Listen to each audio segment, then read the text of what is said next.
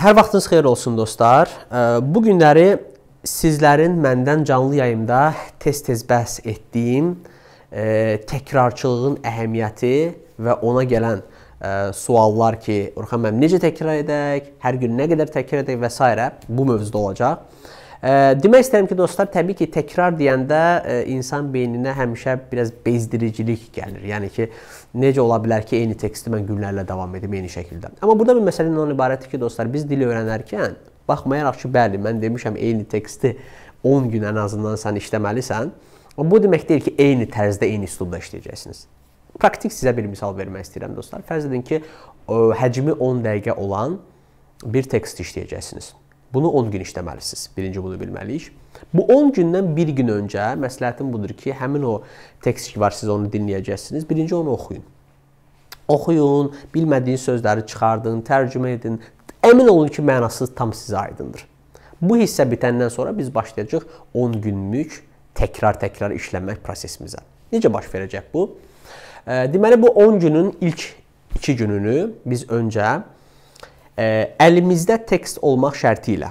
İndi əlimizdə ola bilər, planşetdə ola bilər, telefona yaza bilərsiniz PDF variantını və qulağımızda da eyni zamanda listening 10 dəqiqəlik tekst ən azından 6 dəfə, yəni 1 saat, ən çoxu isə 2 saata qədər artıra bilərsiniz. Təkrar-təkrar oxuyaraq dinləyin. Bu sizə nə verəcək? Bu sizə onu verəcək ki, siz tam olaraq tekstlə tanış olmuş, tanış olmuş olacaqsınız. Yəni məna baxımından artıq sizin başa düşmədiyiniz heç bir şey qalmayacaqdır dostlar. Amma təbii ki, bu 2 saat eləmək bunu bəs etməz. Ona görə də 2 gün buna vaxt ayıracağıq.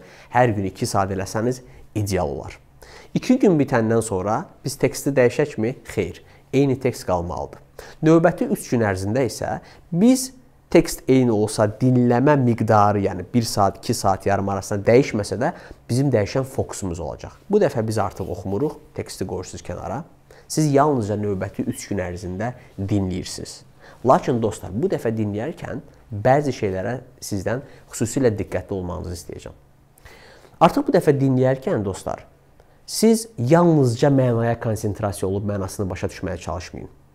Həmçinin də orada istifadə olunan hər bir sözün necə, hansı şəkildə, hansı vurğu ilə deyildiyi, hansı intonasiya ilə deyildiyi, ritm məsələləri, e, tələffüz, aksent məsələlərinə xüsusilə diqqət edin. Çünki hər bir dilin biz bilirik ki, melodiyası var Düzdürmü? Çox hallarda nə ilə qarşılaşırıq? Tələbə teksti oxuyub əzbər bilsə də eyni teksti listening üzərindən eləyəndə başa düşmür. Niyə? Çünki dinləməklə öyrənməyib. Amma biz bildik ki, dinləmə olmasa hər hansısa bir dil daşıyıcısından danışıb söhbət edə bilmərik. Ona görə də bu növbəti 3 gün ərzində bu parametrləri yenə də hər gün 1-2 saat olmaq şərti ilə 10 dəqiqəlik teksti təkrar-təkrar dinləyik və bunlara fikir veririk. 5 gün bitdi. 5 gün bitəndən sonra teksti dəyişəkmi? Xeyr, eyni tekst yenə də qalacaq. Amma növbəti 3 gün ərzində dostlar, bu dəfə yenidən biz fokusumuzu dəyişəcəyik. Artıq bu dəfə biz yenə də eyni qaydada, eyni qədər dinləmə etsək də, lakin bu dəfə biz çalışacağıq ki, həmçinin də orada olan cümlələri özümüz üçün təkrarlayaq. Bunu iki şəkildə edə bilərik. Birinci bundan ibarətdir ki, siz dinləyə-dinləyə o o ingilis dili danışan şəxsdən bir balaca arxaya qalmaq şərti ilə kölgə metodu, shadowing texnik deyirik biz buna, onun ardıca təkrarlayacaqsınız. Təbii ki, təkrarlayarkən əmin olun ki, mənanı başa düşürsünüz. İkinci bu ola bilər ki, hər cümlədən sonra saxlayın və özünüzə artıq bundan öncəki 3 gündə bütün o pronunciation, tələffüz, ritm, intonasiyaları məşq etdiyinizə görə təkrarlayın artıq ucadan deyin. Ucadan o şəkildə işləyin. 3 3 gündə bax buna gedəcək. Və nəhayət əlimizdə bizim 2 gün qalacaq dostlar. Yenə də həmin teksti saxlayırıq. Yenə də həmin qədər işləyirik, lakin bu dəfə artıq ə, sürət ə, danışıq edəcəyik.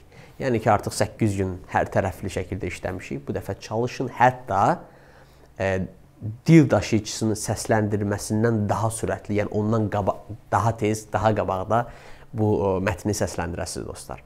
Və 10 gündən sonra artıq təkcə o tekstin sizə verdiyi faydaları özünüz hiss edəcəksiniz dostlar. Bir daha xülasə edək. Deməli 10 dəqiqəlik tekstimizi götürdük.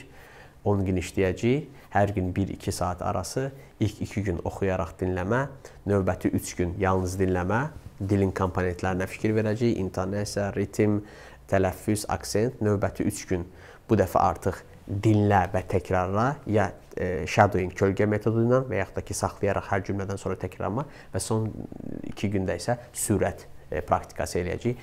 Daha sürətli, danışandan daha sürətli danışmağa çalışacağıq. Hər birinizə uğurlar olsun, sağ olun.